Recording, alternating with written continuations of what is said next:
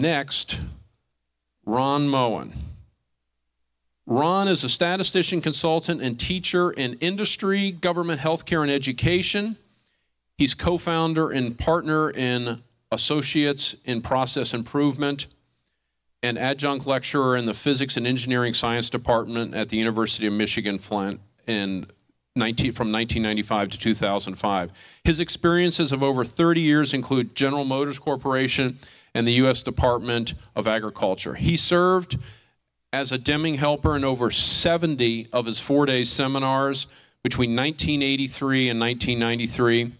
He's a senior fellow at the Institute for Healthcare Improvement, IHI, since 1998, and that was what Don Berwick headed up before he went into government, and served as an improvement advisor for various collaboratives and idealized design project, as well as a member of the faculty for the IA professional development program. He's a member of the board of directors at Peaker Services, which is Dick Steele's company, and Genesis uh, Health System.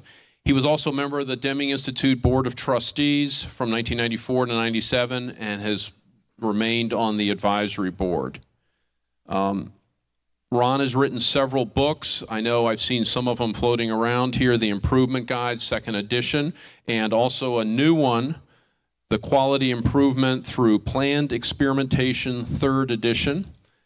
Uh, I'm very pleased to introduce Ron and let him take it away on our next session. Thank you.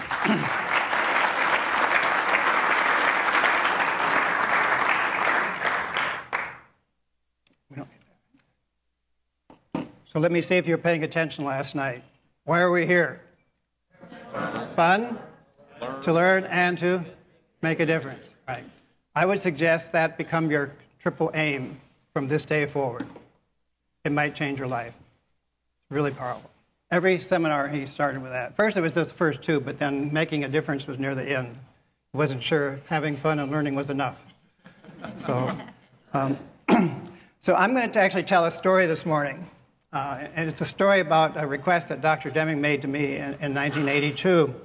And he said, uh, Ron, you must write a, a book statistics books on analytic studies. And I said, What's that? And he said, Well, prediction is the problem. So I'm going to give you a 30 year journey of his request and how it has evolved up to today. So, actually, before it starts, I might say that uh, I actually grew up on a farm in Iowa here uh, a long time ago. And um, that's not exactly where uh, authors come from or writers come from. So I majored in math, and the only reason I majored in math was I could not write. Uh, so I ruled everything out with writing, and so I ended up in mathematics. Uh, so that was kind of the start of my uh, writing career. Uh, in graduate school, then I studied statistics and probability, and uh, you know I learned a lot of things. Uh, there's one of my teachers: T, t-test, f-test, chi-squared, goodness fit, all these nice words a normal distribution. My mantra was statistically significant at the 05 level. That was it. I even studied sampling theory uh, out of Dr. Deming's book. Uh, so I learned how to sample a population and make inferences back, and uh, wow, I was, I was supreme. The statistician could really contribute to the world.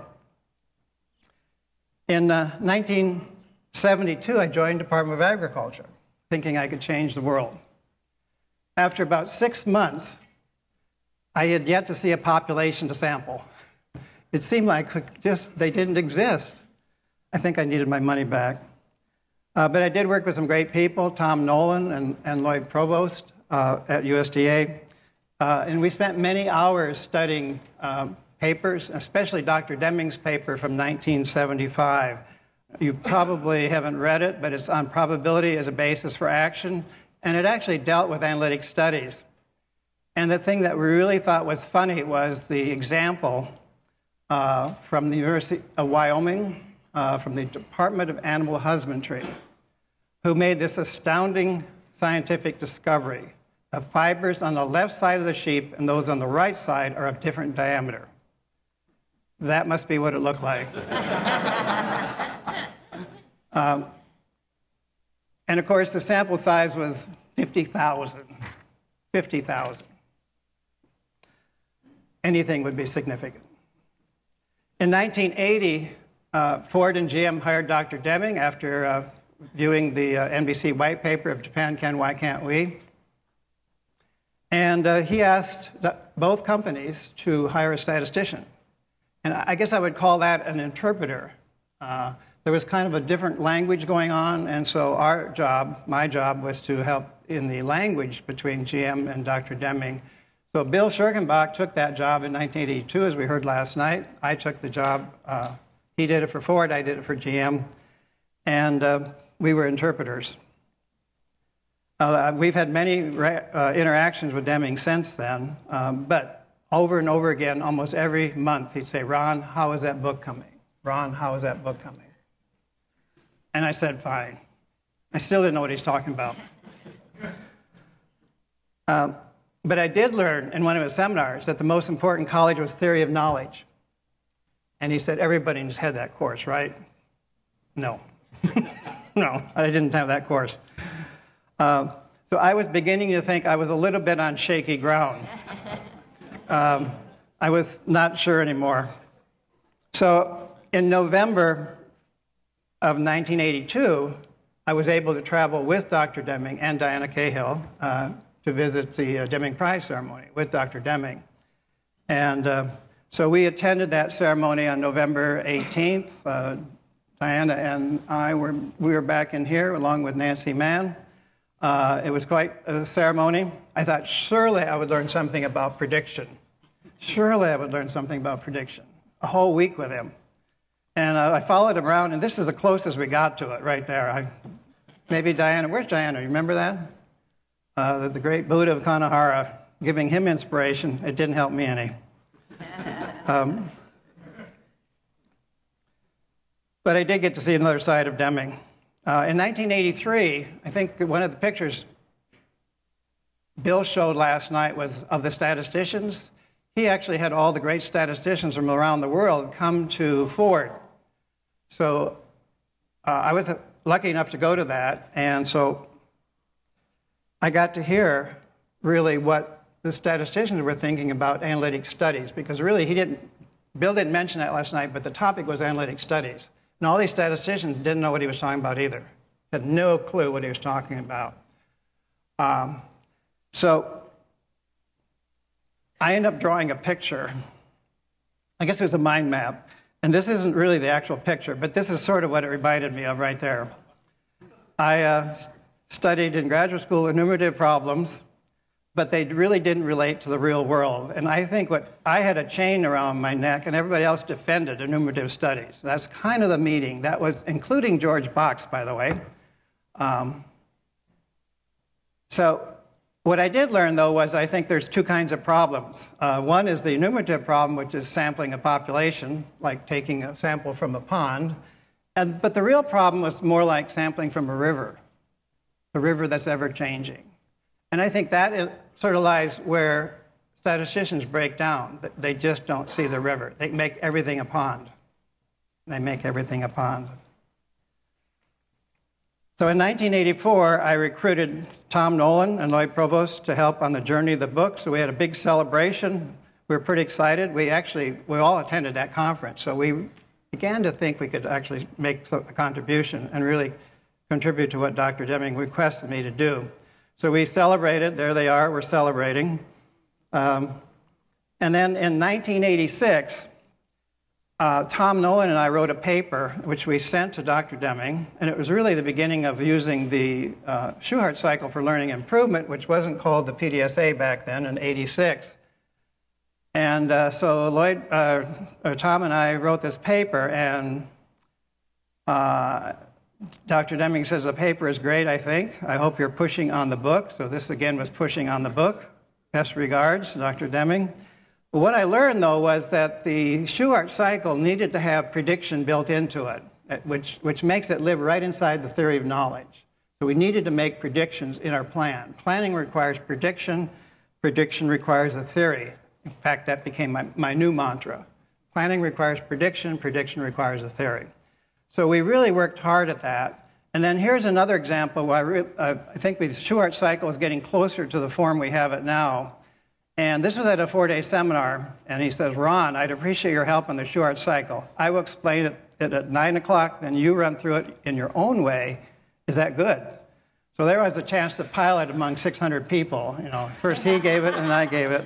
So uh, I learned a lot from that.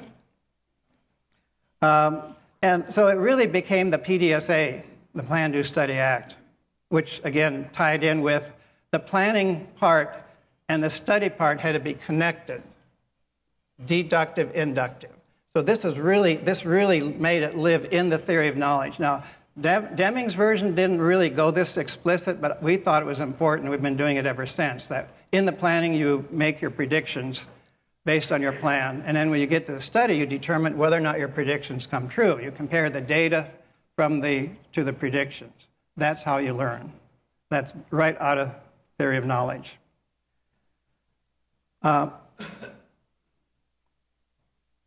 in um, 1990, I sent him the first five chapters of the book. So 82 to 90. took me that long. First five chapters. He says, I don't recall the content of your book, which I'm delighted that it's in its final stages. But here's his warning if it speaks of the PDSA, be sure and call it the PDSA and not that corruption PDCA. Whoa. Fortunately, I didn't have PDCA. Uh, so there's a big misunderstanding about PDCA. Uh, now, at this, then he took the, um, the five chapters and he wrote a foreword. And this is the foreword. I don't know if you can read it, but I do have a copy at the end of the morning session. You can pick up your copy. This became my North Star to write the book. This became my North Star. And I've sort of highlighted the idea of prediction in there. And even though my book probably wasn't close to this that he read, uh, this was the North Star. The problem of prediction. Uh, and then the answer is predict, predict whether one of the methods or materials tested will in the future, under a specified range of conditions, perform better than the other. Prediction is the problem. And then later on in that Next paragraph, significance or the lack of it provides no degree of belief, high, moderate, or low about prediction of performance in the future, in the future, which is the only reason to carry out comparisons, tests, and so on. So again, if you think of the pond, the pond, you can really estimate what's in the pond. So the major source of uncertainty is sampling error. But the major source of uncertainty in a prediction in the future is just that it cannot be quantified. You cannot quantify it. So how could you write a book, statistics book, that would cover that? So this became my North Star, and it haunts me ever, to today. Um, so at the same time I was doing this, Deming was working on a system of profound knowledge. And of course, Mike Tveite talked about that in uh, uh, Deming 101 yesterday morning. Uh, the evolution of the system of profound knowledge. And this is a, a paper that he usually that he used for his North Star, well, it's his working paper, I should say, and it's called Foundation for Management for, of Quality in the Western World. This was handed out at the four day seminars. This was before the New Economics was out. And I highlighted the very bottom of that, uh, that was presented at um, Osaka in July of 1989, and noticed in red comments and help appreciated. Comments and help appreciated. Well, there was help. And actually, it was from University of Minnesota. Uh, three authors took that paper and they sort of put it together into a, their kind of exploring what that was really saying. Uh, this was on May 21, 22, 1990. They listed what Deming was calling profound knowledge, uh, and you see these listed here A, B, C, D, E, F, G. He just made this big list. It was actually more than 14 points now. It was really all these different principles or elements. And so I use those elements to write the book knowledge about statistical concepts of variation, knowledge about losses from tampering, knowledge of procedures aimed at minimum net economic loss, uh, basically um, concept, knowledge about interaction of forces I needed something about testing interactions. Planned experimentation did that. Taguchi loss function. We heard from uh, Bill Bellows yesterday the Taguchi loss function. It was lost to society. Uh, when I studied the Taguchi book, when I saw lost to society, uh, his next sentence in that book was called was that the actions you take if there's a loss to society, if you fail to uh, to reach the target or move towards a target, the loss is greater than the actions of a thief. I'll never forget that.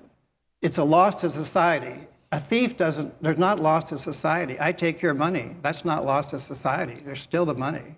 This was worse than that loss to society. Of course, when everybody looked at the Taguchi loss function, they put the loss of the customer there. It was society.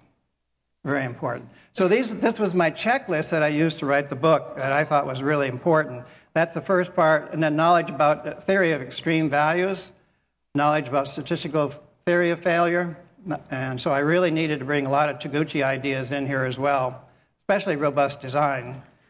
Uh, almost two thirds of the ideas were around that. Well, this paper then from University of Minnesota, Deming was not at that conference, I was. Uh, but they put together then, they said, this is you know, if you really look at this, these go in four buckets. These go in four buckets. So these are the buckets they ended up with. This is 1990. Cognitive psychology, organizational theory and behavior, statistical theory, and systems theory. Okay? All of them fit underneath those four buckets. Well, within three months, in September 1990, guess what Deming did? He's a fast learner. Look at page 11. Uh, he now has four buckets. Not the same ones as the University of Minnesota, but I'm, and I did not talk to him about this, but I'm convinced that this is, uh, this triggered him to really put it together. We've got to look at it in a, a broader context and then put ideas around it. So here are his four points. So I would say he was a fast learner. He listened to uh, the response and comments. Uh, so his book uh, really became the new economics uh, three years later. So six years later, uh, now I'm ready to publish the first book. So um, there it is, 1991.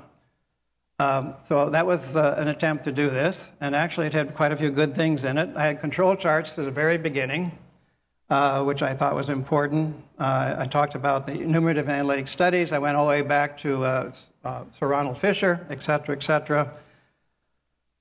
Uh, but um, his book came out in 93, and there it is, uh, which, by the way, the second edition came out after he died. we took Ceil's notes and did the second edition, put everything, all the notes from the uh, from the last six months of his life and put it in the second edition. Uh, and then it took six more years before I wrote the second edition. So now the feedback was why in the world can you have experimental design and have control charts in the beginning? So we put them at the end, we put them in appendix. So we changed that, uh, which I think was a mistake. But we did do one good thing about enumerative and analytic. Uh, we changed it from sort of a, um, a dichotomy for classifying problems in enumerative and analytic into more of a continuum. So the left-hand column is the continuum, with the top being estimation, at the bottom being prediction. The next two columns represent then the, the, the uh, statistical knowledge required and then subject matter knowledge required. And if you look at those two columns and look at the examples there, starting with acceptance sampling, census, and so on, uh, down through prototyping and, and so on, uh, you'll see that at the top, statistics plays a major role. But soon it dies out, and all you can do is use statistics to support the learning of subject matter knowledge. That was a breakthrough in the book. So we were always trying to use statistics to enhance the subject matter knowledge. That was the key. I think we're getting closer. So it took a, a few more years. Uh, but in, in 2012, which again is nine more years, uh, we published the book, and McGraw Hill wanted it published in 2011, but uh, Tom Lloyd and I said, uh, we're not going to go with the numerical goal. We're going to wait till we, uh, we have it we think is pretty good. So it came a year later in 2012. Uh, so this is where we're at um, as of uh, June. And of course, now I'm working on my next version of this book because we still haven't reached it. We still have the North Star, which you'll see a copy of, the forward. We put the forward in every one because that's really where we're headed. Uh, we don't know uh, exactly what it's going to contain, but back in 1990, Dr. Deming said this book should be called Sequential Experimentation for Quality. It never got to that, but the next edition will be called that. Um, so we're still working on it. So that's kind of my story of writing a book for Dr. Deming. So I do think the Deming Institute and uh, as a challenge for us here is to really support the mission of the Deming Institute, and that's really the, the, uh, the uh, fostering understanding of the Deming system of profound knowledge. So I'm going to give you an assignment, my request to you, uh, and that is the following. This is each one of you here. You must write a book on profound knowledge. You must write a book on profound knowledge. And in fact, I'll, I'll write the, the forward for you right now. All right? It's chapter four of the New Economics. Right. That's the forward, but you have to write the book. And I'll start pushing you on this book. I have your emails.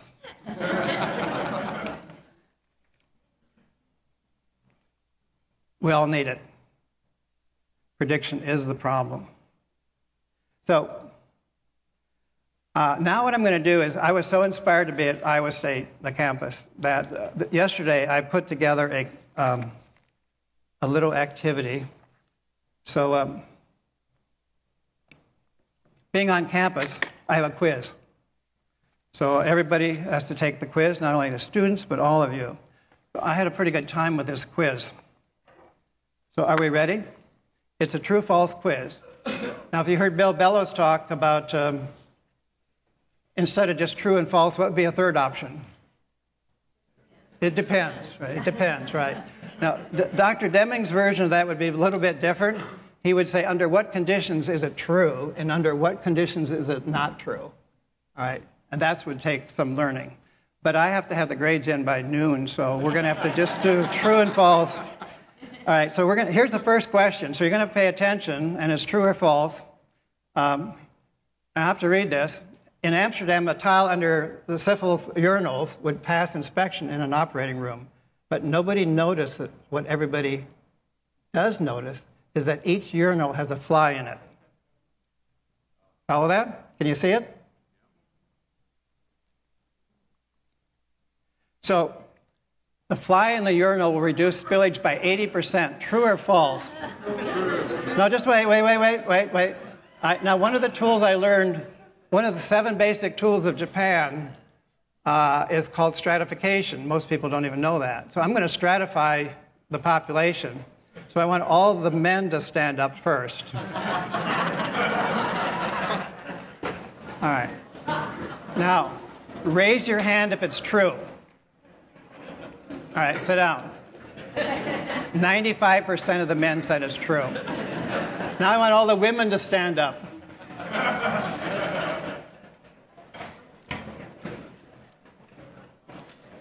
Raise your hand if it's true. Oh my gosh. 7%. Wow. Wow. Thank you. That's stratification. Now, you see what would happen if we'd put all of you together? Totally different response. So, stratification is very powerful for understanding variation. Um, now, the answer is true. Look harder. The fly it turns out on the black outline is sketched in the porcelain. It, it improves the aim. If a man sees a fly, he aims at it. Fly and urinal research, fly and urinal research found that etchings reduce spillage by 80%. It gives a guy something to think about. so, uh,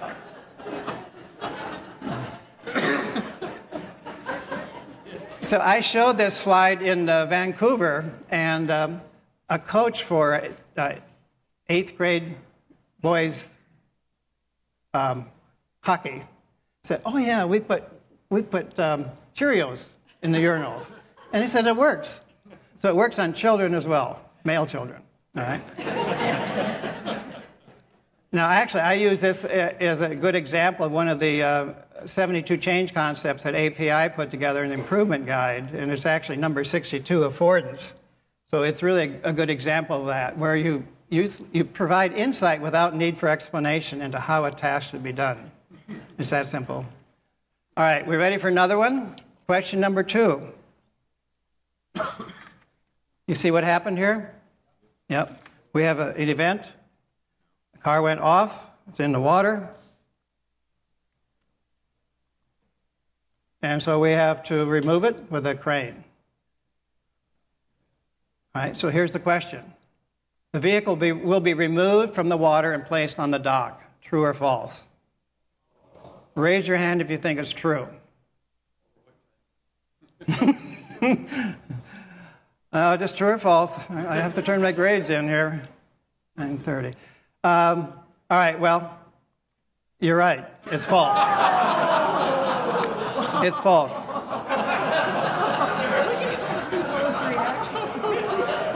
Look at the guy ducking there. Yeah. this is a two part question.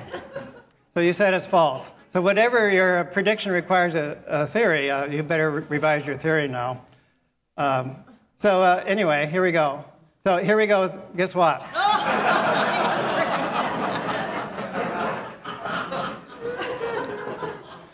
All right. So the theory is a bigger crane, obviously. Look at that, picking him right up. So here's your question. The vehicle will be removed from the water and placed on the dock. True or false? What's your theory? A bigger crane?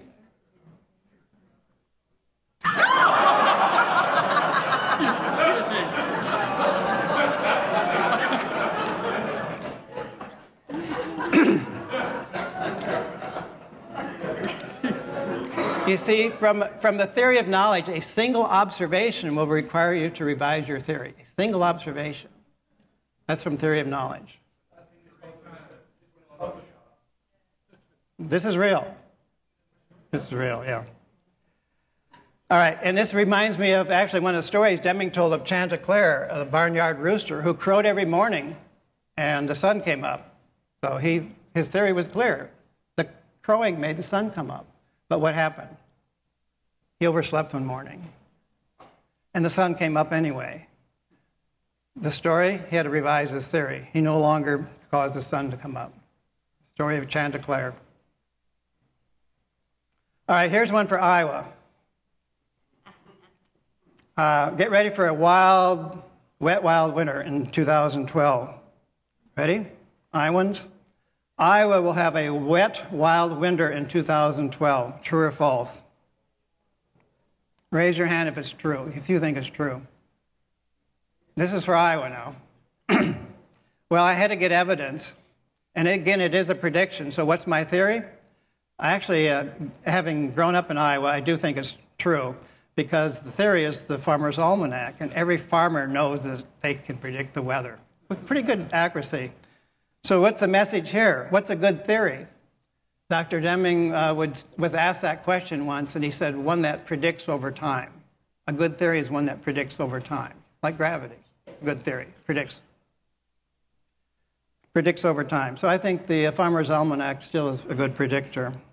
How about this one? Next question. There's a prediction for the stock market crash in 2013, if not sooner. His theory was the planets will align. What do you think? The stock market will crash in 2013, if not sooner. True or false? Anybody think it's true? See, we do. I'd suggest we sell our stocks tomorrow. well, I have evidence. There they are. This, the planets are aligned. So uh, it's obviously true. I have evidence, right? So what is this? Well, this, uh, the, this might be an example of um, confirmation trap out of psychology. It's so easy to find evidence to support your theory. So easy to find evidence.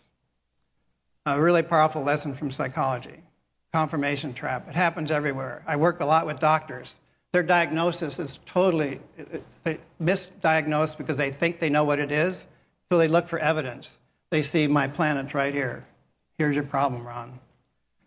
Uh, so there's another lesson confirmation trap from theory of knowledge. Here's another one. The uh, huge recall by Ford Motor Company 421,000 escapes. uh, one of the biggest ones. All right, 2001 to 2004. Sure, surely they've learned for the new model. Ford has asked drivers of the new 2013 Escape to stop driving them. Stop driving them. True or false? True. There's the evidence. If you believe media, it is true. Uh, several of them were causing fires and they stopped, dropped driving them. They did fix the problem. All right? So again, I, I don't know what the lesson is here, but be careful about what you read. You can probably read anything. Confirmation trap might be there, but I do think this was true, having uh, now that I live in Michigan. How about this one, Toyota? Toyota has 23 different models of the two, their 2012 vehicle recalled. True or false? Raise your hand if true. Do you have Toyotas? Hmm. There they are. This is in the US only, 23 different models, true. 23 different models, all true. All right, well, we're on the campus of Iowa State University, uh, Snedecor and Cochran's famous book. This is not their book, by the way. Um, this is the cult of statistical significance, significance, how the standard error causes jobs, justice, and lives. Question. This is not a published book available for purchase. True or false? No, it's true. It's a very popular book. Uh, came out two years ago. There, you can buy it right there. Uh, Amazon.com for how much? About $88. And there's 17 reviews. You ought to read the reviews. People, the statisticians are hanging on to their, their enumerative study theory. They're hanging on, otherwise, they won't have a job. This really shows the, the error in the thinking. It's the first book that I actually have seen where Deming's message to me in 1980, someone else really grabbed it and ran with it. Uh, so you might want to consider reading that. Now, I have actually two questions left for extra credit. So these are true false questions.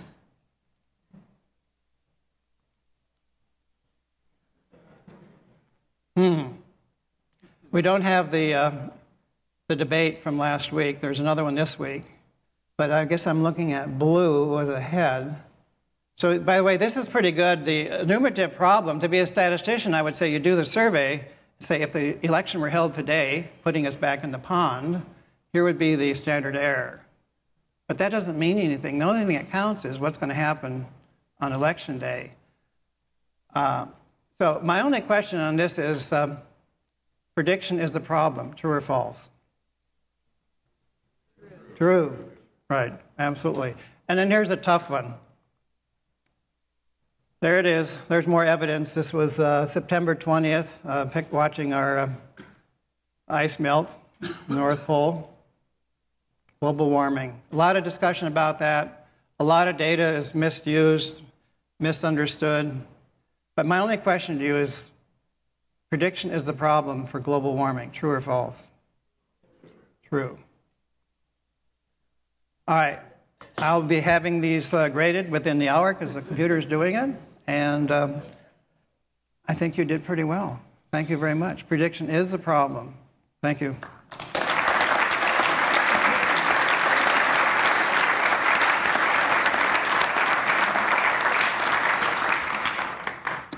Again, uh, you can have one of these, uh, and you already have the forward for your assignment, uh, the new economics. So uh, I would like to uh, keep you working on that. Kevin? Yeah, question? Yeah. Okay. Yes.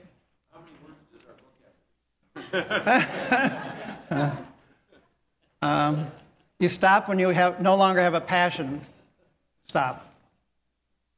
Yes. Can you talk a little bit about and why Berwick never got I'll back up more than that. Uh, one of the seminars, uh, I think Tom Nolan and I helped him, uh, uh Dr. Deming, with a seminar. It was in Washington, D.C., and I think it was 1984. Um, or 80, I think it was 85. Don Berwick attended the seminar, day one. At the end of day one, he flew back to Boston. He said, I can't listen to this old guy for three more days. And by the way, that happened a lot. A lot of, not a lot, but I'd say maybe 5%. This is not what I expected. Not what I expected at all. So he flew home, back to Boston, back to Cambridge, um, and um, he went to bed that night and he couldn't sleep. He was up all night. He got on a plane and flew back to Washington and attended the next three days. And uh, has been the Deming disciple, or I should say, the Dr. Deming of healthcare ever since. Um, so he started IHI. Uh, again, he's done great things, uh, talking about saving lives. They had a campaign saving 100,000 lives. By the way, uh, J.W. Wilson was correct about the hospitals are killing people. Uh, it's probably up to close to 200,000 a year from uh, uh, various um, issues, one being adverse drug events, another being surgical site infections, et cetera, et cetera.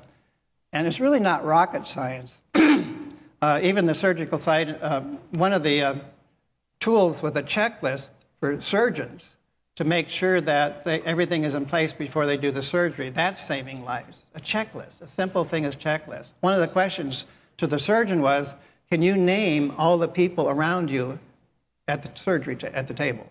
Very important question. Can you name them? You'd be surprised how important that was. So Dr. Uh, Berwick actually had a 100,000 Lives campaign. And, and in 18 months, they saved 143,000 lives in the U.S. One of the projects I worked on with him in Ghana was the Five Alive. That saved thousands and thousands of children. Have projects right now, my, some of my students with IHI uh, on HIV in South Africa. Thousands of lives. So he is an amazing person. He is the Dr. Dr. Deming of healthcare. And uh, Obama appointed him during the recess, uh, put him in head of CMS, which is $800 billion budget, 200,000 employees. Uh, so he was appointed there, but it was clear that Congress was not going to approve him uh, because he was supported Obama. Right. So no one would really get approved, probably, at that point. Uh, so he was in there eight months, and in December he had to step down.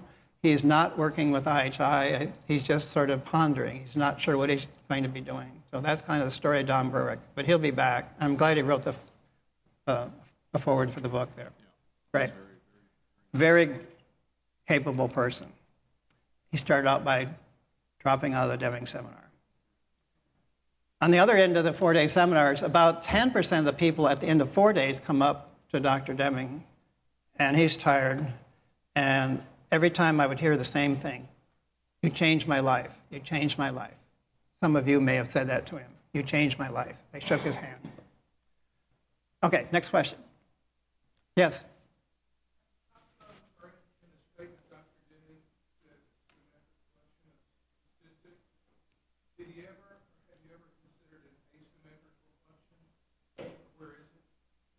Well, you know, I think the, uh, the, the, whole theory of extreme values is another study for statisticians. He thought that was very important. So, again, the whole idea is not to aggregate data, but keep it in its most purest form. Don't do averages, don't do summaries. Symmetric, symmetric statistics sort of wipe out some of the important things. so, I, to me, the lesson was just keep the data in its rawest form. In our book here, we always plot all the data. One of the first things we do is to we plot the data in the order that was, was generated. Time order plots, every one. So we can actually have, uh, we can run experimental designs where we don't have uh, stability. Uh, as long as we know that ahead of time, as long as we know that ahead of time and look for that. So uh, the whole idea is to, um, to try to make changes and use the data to help decide if the change is improvement.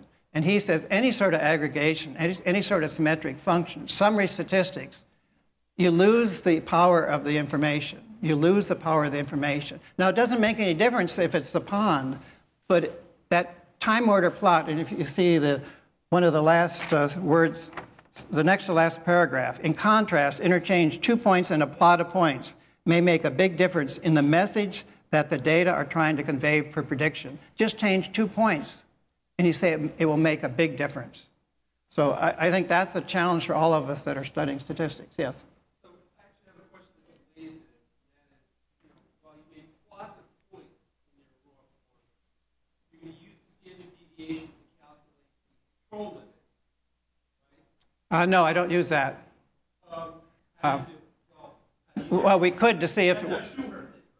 Yeah, but, but remember, the Shewhart's uh, control chart was used, is a passive tool. It's used to decide whether or not um, something's changed. So you're really, if you think of a cause and effect diagram, the effects over here, the causes are here. A Shewhart chart is looking at the, uh, the date over time, and there's, if there's a signal of a special cause, which is the three sigma limits and the rules around special cause, then you look into the cause system. What, the way we did it, we reversed it. In our book, we have to look at the other way around. We have to work on the causes and see if we can create a special cause. So the sort of the control limits get in the way. No, no, no, no, because it's it's an active role. We want it to change. We have to decide if the change is an improvement. That's part of the problem. But it's more. You don't let the control limits decide for you. It's really subject matter knowledge. Well, if you see one, if you think you see one, you could put control limits on and say, what happened during my experiment? For example, I, I uh, kept uh, blood pressure, my, pers- my personal blood pressure measurements for the last nine months. And so I was running an experiment with my doctor. He said, uh, you should use drug A.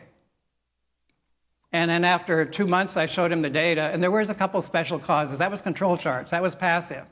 So he said, let's run a, uh, uh, let's run a, uh, let, no, he, what he really said, he didn't say run a test. I think you need to switch, you need to add another drug, drug C. And he said, let's call it the 1 plus 1 equal 3 test. 1 plus 1 equal 3. I said, okay, we'll do that. So uh, I took the two, two together, and of course, to, to me, that meant there will be an interaction, which will actually lower it more.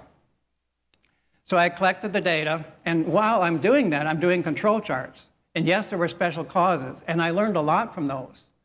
Uh, when, when there was anxiety, when I was um, stressed out, a lot of times in my travels around the world, the, the plane rides really are killers for your body.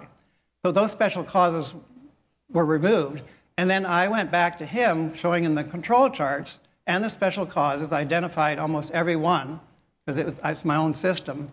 Then I said, I want to run another test. We actually have a half of a 2 to the 2 already. Why don't we run um, drug C by itself? So A and A first, A and C second. Now I said, let's run C.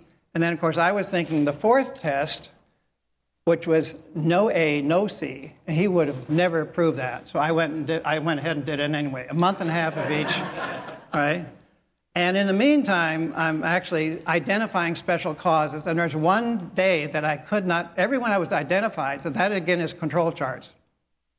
And there was one day where it was 100 over 60, and I never could explain it. I have no idea. But when I, for example, one day I was stuck in traffic, and uh, it's surprising how your blood pressure goes up when you're driving in rush hour, in Detroit at least, where they drive 80 in the left lane uh, and then stop uh, so I couldn't understand that. But all of that was passive, but I was learning from special causes, and I was improving my own system, basically. But then I put it all into a 2 to the 2 and looked at the variation uh, of the 2 to the 2, which is all four combinations. And he was right, there was an interaction. But it was not better with A and C together. C was the key. C by itself, drug C, uh, which is chlorothiazide. Anyway, it's a water pill. So that worked. Um, that was a two to the two. I also looked at it, now I can look at it in experimental design. I also looked at the variation from, uh, from uh, day to day, which was the standard, using the standard deviation for the, the data in each of the four combinations. So what the book is about is really a blend of um, Shewhart charts and experimental design. I think that's a perfect example of it. They come together. So in this version of the book, it, they really, it's integrated throughout. The other thing we put in the book, which actually the data that I have on my blood pressure fits in here nicely, I didn't use it. There's a chapter on where the response variable is time series data, which is exactly what I had for my blood pressure. I had blood pressure every morning at 8 o'clock. So I had a month and a half of data with one combination A and then with C, AC, and no AC. No. So uh, that's another chapter. And I don't think any books ever put that together before. That was um, really, we worked hard at that. The ability to look at the data. And one of the plots we do, we also built the software to go with that. The plot shows all the raw data. So I have six months worth of data. You can see A and C together. You can see A, you can see all four combinations laid out in, in a time series plot with the software. It works beautiful. So it's really a blending of those two together. Also, I will say one more thing. Looking at the data from uh, a few more minutes. Uh, the last chapter is on uh, new product development. And when I look at these recalls, I keep saying, why in the world do companies not learn? If you look at why these vehicles are recalled or any products recalled, it's the same thing over and over again. How can companies make the same mistake over and over again? Uh, and so there's a whole section on robust design. Uh, Taguchi was really right on track in, in his uh, how to look at problems. And uh, the ability to say, again, he was looking at the analytic problem. He was an engineer, and uh, he said, um, we have to make products that work in the future. So one of the questions you always ask when you're designing your product is, under what conditions will this not work? No different than under what conditions is the question, the answer true or false. So robust design is a way of thinking about it differently and how you look at the data, how you put conditions out to test it. This is billions of dollars every year by the auto companies, including Toyota. Absolutely robust design. And there's a lot of ways to look at it. Taguchi looked at it one way. There's other ways to looking at it. But the whole idea is to say, under what conditions will this not work? Under what conditions will this not work? Every engineer designing a product that makes anything should ask that. Yes?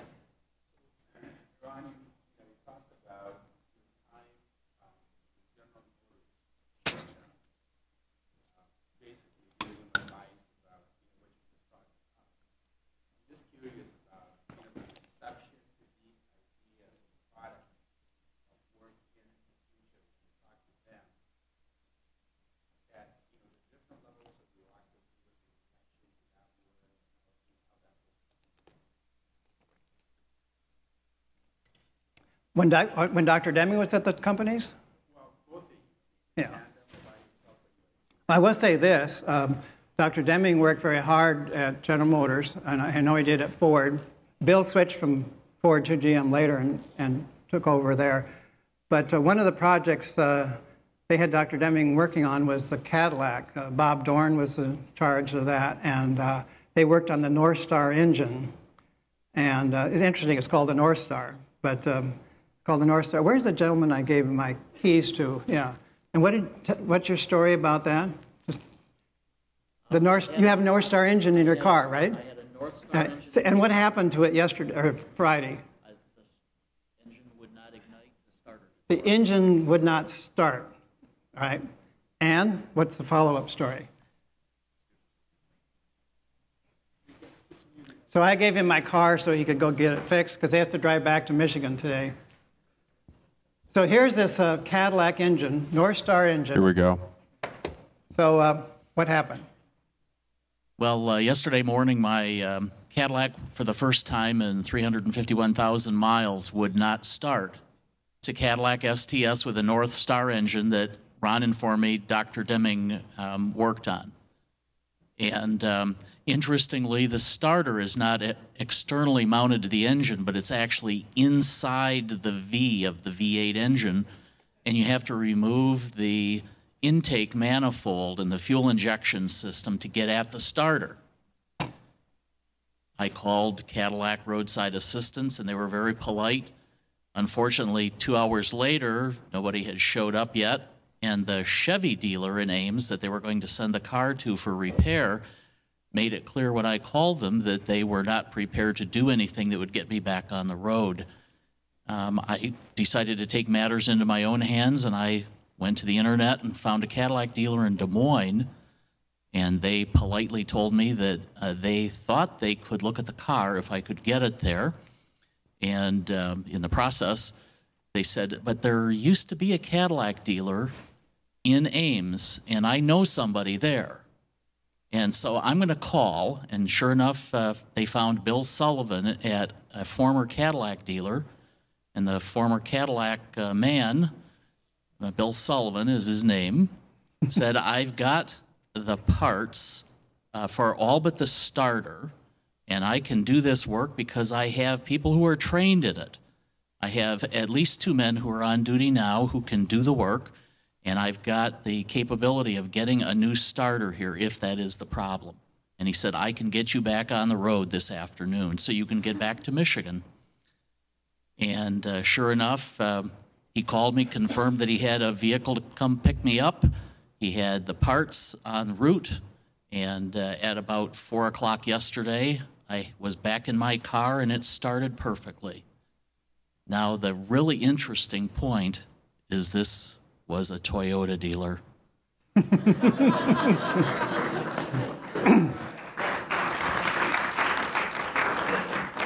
Now, I, I know Dr. Deming uh, didn't understand engines very well, even though he's a physicist. He didn't, but I'm sure he asked the engineers the right questions.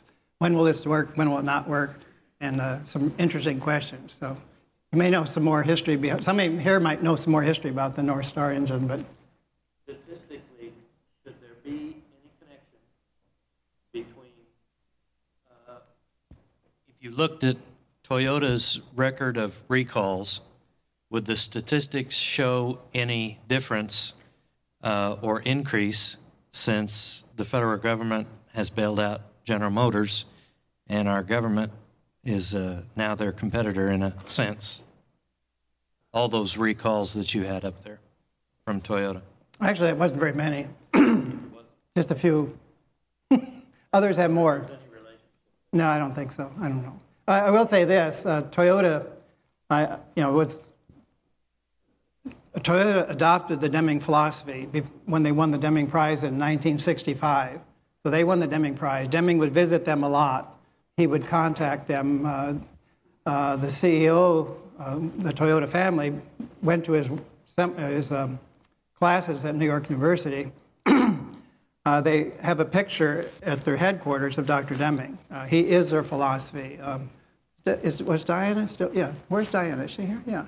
Uh, Dr. Toyota won the, the Deming Medal in 2003. And um, he, uh, the acceptance speech was basically that we do follow the Deming philosophy ever, ever since uh, we first heard Dr. Deming in 1950. So that is truly a Deming company even today. Now, I'd say they lost a little bit with the CEO, but now I think they're a little bit more back on track. But if you look at their data, uh, I, I, would say their, um, their quality record is probably still the best in the world of anyone. They don't lose people. And most importantly, what I think they do is they, they, they never lose knowledge inside the company. They never lose knowledge. So if there is a recall, there's learning that takes place and it doesn't happen again. They've captured the knowledge. There's a social memory. They keep track of all kinds of things. There's tools in the engineering field that help them do that. They also do a one-page report called an A, I think it's A three report. Entire project, two years, on one page. It's a piece of art. It captures the whole thing. So you don't have to read through lots of stuff. So they capture the knowledge. So I think the key to being a great company is really using your people and not letting the knowledge uh, go out. Yeah, question. Maybe just one more. I haven't had breakfast yet. Yes, um, I wanted to follow up on the question from the gentleman in the back about special causes of variation when you're using Shewhart control charts. I teach a graduate course here in Iowa State for the last 20 years, and I've used the new economics book and all of that. But I also find your comments about Snedecor Hall appropriate. Um, uh, I know it's very difficult for classical statisticians, as I might call them, to give up on the enumerative versus process control debate. Uh, I just wanted you to comment on the role of common causes, because as I understand it, common causes are the predominant um, percentage of variation relative to special causes. So if you might comment on that. Well, first of all, one of the co- one of the, the numbers Dr. Deming would give out in the seminars is uh, 94% of the problems are this, due to the system, not the people. Um, you saw a picture of um, of um, last night. Besides Dr. Deming, um, um, Dr. Joseph Juran, he would say 85%. So first of all, problems mostly come from the system. So one way to see where what what does that look like? That's the common cause variation. So the idea of separating common and special cause, it's hard to know what's, what's common cause variation is. It's, it's, if you do the cause and effect diagram, it's all of those things on the left side. But there also could be some things on the left side that change. That would be the special causes. The control charts only pick up the special causes. What's left is the common cause. Now, if you don't like the outcome of the common cause, that's called capability. If it's not capable to where you want it, then you have to work on the common cause. How do you do that? Well, control charts won't help you. You've got to go in and make changes to the common cause. Some of the, the uh, causes over here, which we'll call factors and background variables, see what is the effect on the response variable. So you have to get in and actively run experimentation. That's how you reduce the common cause variation. So I, I think that's, again, where the, the two tools are, are useful. But once you're at common cause variation, then the control charts probably aren't so effective. Now, that's not necessarily true because one of the things that IHI was very insistent on was not to get too sophisticated with statistics. So in all of their work, they, they do annotated run charts. So they basically, they'll look at data over time, and then they'll annotate, here's where we've made our change and then they look at the after data. So they don't do anything sophisticated, but it still is, it's a basic tool that works. So it's called annotated run chart. So they don't even do control charts. Now some of, and again, what they're doing is actively making changes. The, um, the um, surgical uh, checklist really showed big improvements. Right, so here it is before, here's the number of uh, um, mistakes in surgery before and after. So this still is a very powerful tool. And for people that are working every day, uh, they really can't, they don't have time to look at control charts, experimental design, and so on. But this was a tool that really gave them feedback. And by seeing the data and seeing things get better, it really it was very powerful. So I think that was a lesson for all of us that are more academic, that you really just need to plot data over time. And if you make a change, uh, annotate it, do your plots, do your run charts, uh, make a change, and then decide whether or not the change is an improvement. You might be wrong, but at least you're using your, your own subject matter knowledge to decide. All right, I'm going to let it uh, go from there. So thank you very much. And, uh, Thank you, Ron. Appreciate it.